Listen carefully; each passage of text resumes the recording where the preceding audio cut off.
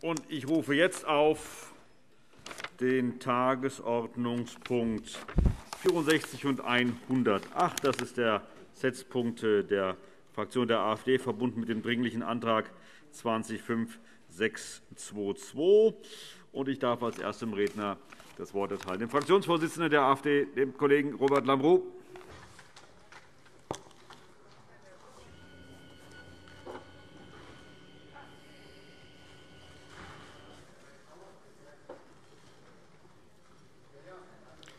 Sehr geehrter Herr Präsident, sehr geehrte Damen und Herren! Der heutige Tag ist für mich ein Tiefpunkt in der föderalen Kultur der Bundesrepublik Deutschland. Das sagte Sachsen-Anhalts Ministerpräsident Rainer Haseloff, CDU, bei der Sondersitzung des Bundesrats am 22. April. In dieser Sondersitzung wurde das vierte Bevölkerungsschutzgesetz gebilligt, das zuvor vom Bundestag verabschiedet wurde. Haselhoffs heftige Kritik am Gesetz. Einen ganz kleinen Moment, Herr Lambrou. Es ist ein bisschen laut, wenn Sie die Gespräche bitte draußen führen würden. Danke schön. Herr Lambrou, Sie haben das Wort. Haselhoffs heftige Kritik am Gesetz gipfelte in der Feststellung, dass die Gesetzesinitiative und die sie rechtfertigende Diskussion dem kooperativen Föderalismus einen Zitat schwer heilbaren Schaden zugefügt hätten. Meine Damen und Herren, diese Einschätzung teilen wir vollumfänglich. Das in Rede stehende vierte Bevölkerungsschutzgesetz kollidiert in etlichen Punkten mit dem Grundgesetz. Und mit dieser Einschätzung stehen wir nicht alleine da, ganz im Gegenteil. So richten sich die dort geregelten Grundrechtseingriffe millionenfach pauschal gegen Personen, die nicht einmal im Verdacht stehen, das Virus zu verbreiten. Der Staats- und Völkerrechtler Dr. Ulrich Vosgerau sieht darin eine de facto Notstandsregelung verwirklicht, die so im Grundgesetz nicht vorgesehen ist. Außerdem gefährdet das Gesetz das Grundrecht auf effektiven Rechtsschutz. Gegen das neue Infektionsschutzgesetz kann man nunmehr keine Verwaltungsgerichte anrufen, sondern muss fortan stets vor das Bundesverfassungsgericht ziehen. Die Antwort nach dem Warum ist so einfach wie fragwürdig. Man möchte den Bürgern den Weg vor die Verwaltungsgerichte versperren, weil diese in der Vergangenheit viele verordnete Corona-Maßnahmen wieder gekippt haben. Bundeskanzlerin Angela Merkel gab das in ihrem Podcast Die Kanzlerin im Gespräch sogar zu. Dort verplapperte sie sich folgendermaßen in der ihr eigenen Sprachgewalt. Ich zitiere. Was können wir tun, damit das nicht durch Gerichte wieder infrage gestellt wird? Dadurch, dass wir jetzt ein Bundesgesetz gemacht haben, kann es nur durch das Bundesverfassungsgericht noch überprüft werden. Das heißt also, man hat nicht die verschiedenen Verwaltungsgerichtsentscheidungen. Und weiter zitiere ich die Bundeskanzlerin. Also dann wird gesagt, okay, Buch ja, Computerfestplatte nein. Ist das richtig? Da gab es Gerichtsentscheidungen, die gesagt haben, nein, da muss auch der Computershop aufgemacht werden. Und schwupps ist man in einer Bahn, wo dann alle Geschäfte auf sind. Soweit Zitat Bundeskanzlerin Merkel. Die Zusammenfassung dieses Vorgehens habe ich mir aus dem Politblog achgut.com geborgt, der da schreibt, die lästige Justiz in den Ländern erschwerte der Politik die Arbeit, weil sie die Rechtmäßigkeit von Corona-Maßnahmen prüfte. Also schuf die Regierung ein Bundesgesetz, damit die unbotmäßigen Untertanen ihre Rechte nicht mehr so leicht einklagen können. Problem gelöst. Meine Damen und Herren, ich bezeichne das als entlarvend. Und Bundestagsvizepräsident Wolfgang Kubicki, FDP, bezeichnet diese Entwicklung in einem Rechtsstaat als Zitat höchst problematisch. Meine Damen und Herren, die AfD-Fraktion teilt auch diese Auffassung. Das Gesetz ist schon deshalb extrem problematisch, weil massive Grundgerechtseingriffe einzig am rein Inzidenzwert anknüpfen, die sogenannte Sieben-Tage-Inzidenz. Und das, obwohl der Bundestag erst im März beschlossen hat, dass der Inzidenzwert gerade nicht mehr alleiniger Maßstab sein soll. Viele Juristen, darunter auch der ehemalige Präsident des Bundesverfassungsgerichts und der renommierte Staatsrechter Hans-Jürgen Papier, halten den Inzidenzwert als Gradmesser für ungeeignet zumal durch die alleinige Fixierung auf den Inzidenzwert und eine gleichzeitige Steigerung der Testraten ein automatisierter Dauerlockdown künstlich herbeigeführt werden kann. Der ehemalige Vorsitzende des Deutschen Richterbundes, Jens Gnieser, führte hierzu treffend aus, ich zitiere, dieses Gesetz führt aber zu einem kaum noch steuerbaren Dauerzustand. Unsere Gesellschaft wird gewissermaßen auf Autopilot gestellt. Kommen wir noch einmal zurück zur bereits erwähnten Sondersitzung des Bundesrates am 22. April. Ministerpräsident Volker Bouffier hat dort eine, wie ich finde, sehr beachtliche Rede gehalten. Es wirkte fast so, als würde er als strenger Rektor Bundesgesundheitsminister Jens Spahn, CDU, eine Grundsatzlektion in Sachen Politik erteilen. Neben den praktischen und rechtlichen Problemen des Gesetzes verwies Bouffier immer wieder auf die so wichtige Akzeptanz der Bürger, deren Toleranz gegenüber den staatlich verordneten Grundrechtseinschränkungen nicht unerschöpflich sei. Bouffier sprach weiterhin von den Zitat tiefgehendsten Einschnitten in die Grundrechte, die es jemals gegeben hat, Zitat Ende, welche uns alle dazu zwängen, eine sorgfältige Debatte zu diesem Thema zu führen. Dieser Aussage können wir nur beipflichten. Wie sehr unsere Debattenkultur aktuell verloren geht, zeigt ganz exemplarisch der Umgang mit den Personen hinter der Aktion Hashtag alles dicht machen. Ein Rundfunkrat der SPD, Garel Duin, forderte sogar, dass man die Zusammenarbeit mit den Schauspielern Liefers und Tukur sofort beenden solle. Welch totalitärer Ungeist sich hier aktuell in unserer Gesellschaft ausbreitet, kann man auch an den Aussagen des Fraktionsvorsitzenden der SPD im Nordrhein-Westfälischen Landtag festmachen. Besagter Landtagsfraktionschef Kutschaty sagte dem WDR, es ist nicht unser oberstes Ziel, in private Wohnungen zu gucken, aber auf dem Weg dahin kann ich Menschen erwischen. Was ist nun die Konsequenz daraus? Herr Ministerpräsident, ich kann gut verstehen, dass Sie sich inhaltlich von diesem Gesetz absetzen wollen, und mit Ihrer Rede im Bundesrat ist Ihnen das vordergründig auch gelungen. Im Abstimmverhalten hingegen waren Sie leider wieder voll auf Linie. Man trägt das Gesetz halt mit, weil es nicht anders geht, so der Tenor Ihrer Rede. Immerhin, man hat Bedenken artikuliert. Herr Ministerpräsident, am Dienstag haben Sie uns hier im Landtag erklärt, warum Sie im Bundesrat den Vermittlungsausschuss nicht angerufen haben. Die Zeit würde so drängen, dass man jetzt endlich rasch wirksame Maßnahmen bräuchte. Es könne nicht länger gewartet werden. Dies sei verhandlungsvolles Handeln. Der Hauptgeschäftsführer des Deutschen Landkreistages, Prof. Dr. Hans-Günther Hennecke, sieht das etwas anderes. Er beklagt, dass das Gesetz eine wirksame Pandemiebekämpfung sogar behindere. Seine Begründung, das Gesetz, Zitat, beschneide ohne sachlichen Grund die Möglichkeiten der Länder, flexibel und situationsangemessen auf das Infektionsgeschehen vor Ort zu reagieren. Zitat Ende.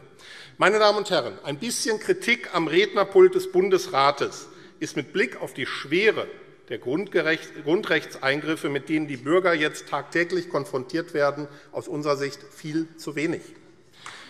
Zumal das Gesetz auch ganz eindeutig in die Kulturhoheit der Länder eingreift. Darauf hat auch Ministerpräsident Bouffier in seiner Rede hingewiesen. Es ist nicht nachvollziehbar, dass man nach dem katastrophalen Versagen der Bundesregierung im Umgang mit der Pandemie nun ein Gesetz durchgewunken hat, das eben jener Bundesregierung noch mehr Einflussmöglichkeiten gibt als zuvor. Richtig wäre es, einen stärkeren Wettbewerb zwischen den Ländern auf dem Gebiet der Corona-Politik zuzulassen, um das beste Konzept zur Beendigung der Corona-Krise zu finden. Staatsministerin Lucia Puttrich, CDU, hat sich in der FAZ übrigens kürzlich ähnlich geäußert. Zitat, unser föderaler Staatsaufbau hat sich in der Krise bewährt. Und vergessen wir nicht, die Grundlage unseres Föderalismus liegt in der Begrenzung zentraler Staatsgewalt. Zitat Ende, soweit Ministerin Puttrich. Es ist nun an uns, das Heft des Handelns in die Hand zu nehmen und unsere Verantwortung für die Bürger gerecht zu werden. Mit der in unserem Antrag geforderten abstrakten Normenkontrollklage gäbe man dem Bundesverfassungsgericht die Möglichkeit, eine umfassende Prüfung des vierten Bevölkerungsschutzgesetzes auf seine Vereinbarkeit mit dem Grundgesetz vorzunehmen. Das Bundesverfassungsgericht könnte in einem Verfahren auch weitere Fragen der Verhältnismäßigkeit prüfen.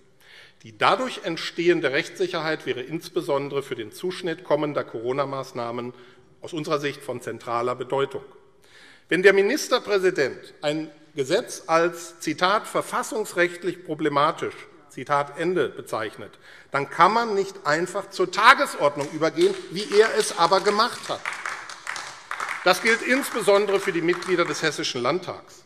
Liebe Kollegen, es ist in unser aller Interesse, Klarheit über die Verfassungsmäßigkeit des Gesetzes zu schaffen.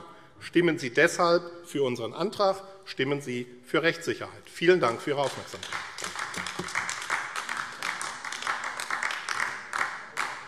Vielen Dank, Herr Abg. Lambrou. Nächster Redner ist der Kollege Jörg-Uwe Hahn für die Fraktion Die Freien Demokraten.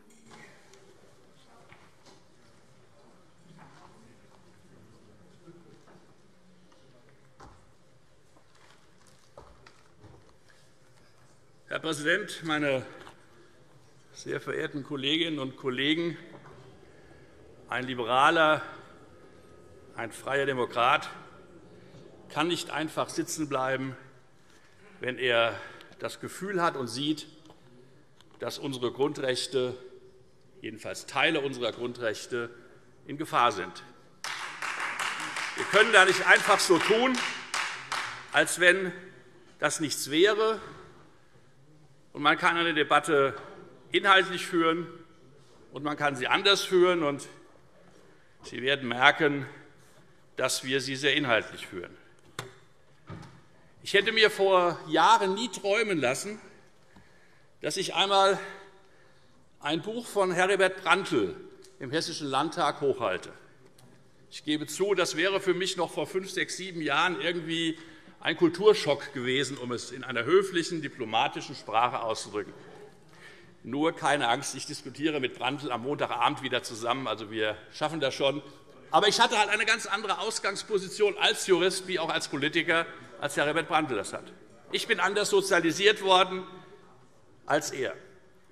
Meine sehr verehrten Damen und Herren, ich kann es nicht nachvollziehen, dass es Sie kalt lässt, dass Heribert Brandl vor wenigen Tagen ein Buch veröffentlicht hat unter dem Titel Not und Gebot – Grundrechte in Quarantäne. Meine sehr verehrten Damen und Herren, das ist nicht irgendjemand. Das ist auf alle Fälle nicht derjenige, den manche gerne dort hätten, damit sie sich an ihm abarbeiten können. Herbert Brandl ist ein hervorragender Jurist, und ich habe ganz bewusst gesagt, er ist politisch und auch juristisch anders sozialisiert worden als ich. Meine sehr verehrten Damen und Herren, Grundrechte in Quarantäne. Und wenn Sie das Vorwort lesen, die Artikel dahinter müssen Sie gar nicht lesen, weil Sie ja bestimmt alle Brandl-Fans sind und seine Kolumnen der letzten neun Monate in der Süddeutschen Zeitung und sonst wie zur Kenntnis genommen und auch verstanden haben.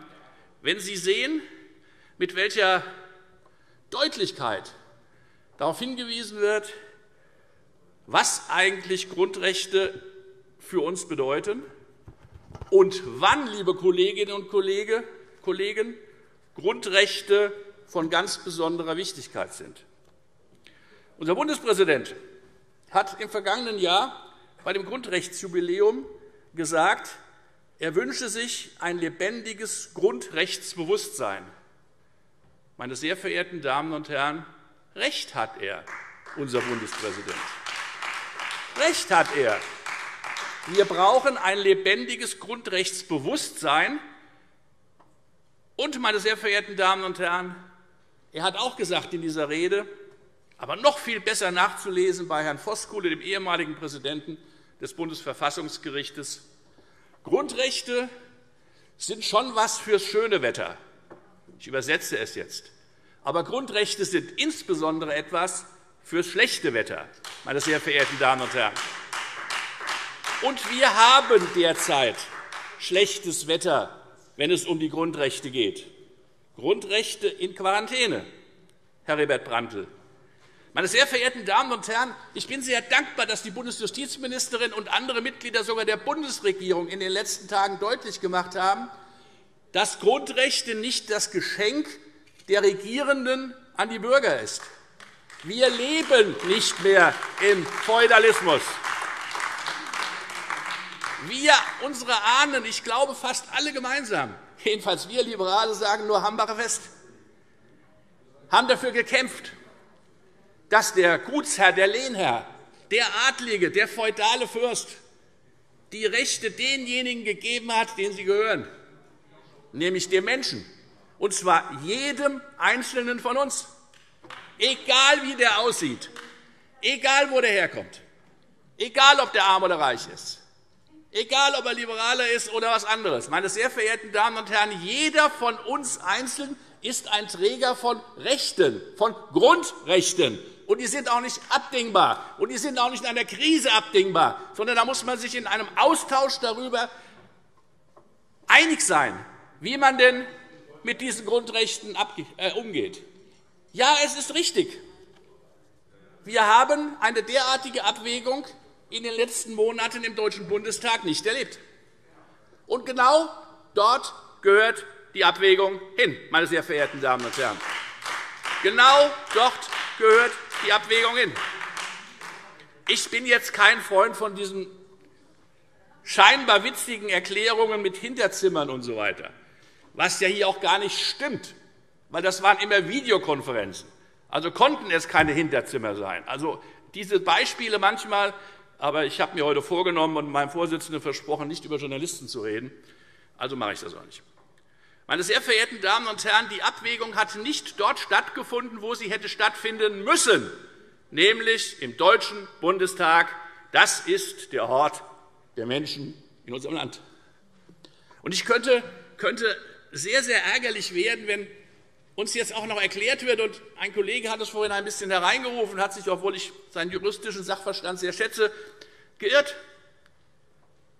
Kein Land hat diesem Gesetz zugestimmt, weil nämlich der Deutsche Bundestag beschlossen hat, dass er das Gesetz so häkelt, so zusammenbaut, dass es ein sogenanntes Nichtzustimmungsgesetz ist. Da ich fünf Jahre dem Bundesrat angehört habe und dort auch eine Fraktion koordiniert habe, kann ich Ihnen sagen, das ist schon schwer, ein Gesetz so zu bearbeiten. Aber deshalb hat kein Bundesland zugestimmt, und deshalb konnte auch das Land Hessen nicht, meine sehr verehrten Damen und Herren, auch das sei hier noch einmal von einem Liberalen erklärt, der etwas von den Grundregeln unserer Verfassung hält, konnte es auch nicht abgelehnt werden.